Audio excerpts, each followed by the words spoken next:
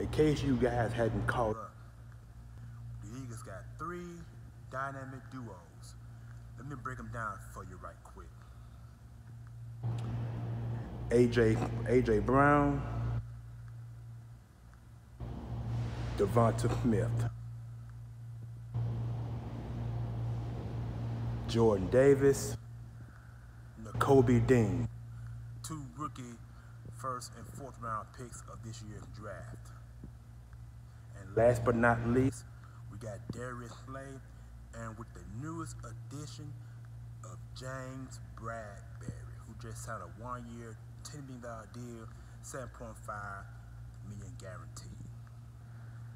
Those are our three dynamic duos, two on defense, one on offense. Wow. Or if you want to, you can add, um, if you want to, you can add Jalen Hurts. And if everything goes well with Jalen Hurts, we also we might have um, the we might have a stable of running backs in the backfield. So if you want to, you can set two on offense, two on defense. So if everything goes well with the running back rotation, we might have four dynamic duo. But right now we just got three. I just, I just named them. So hope you guys enjoy your day. I'm gonna enjoy mine. Holla!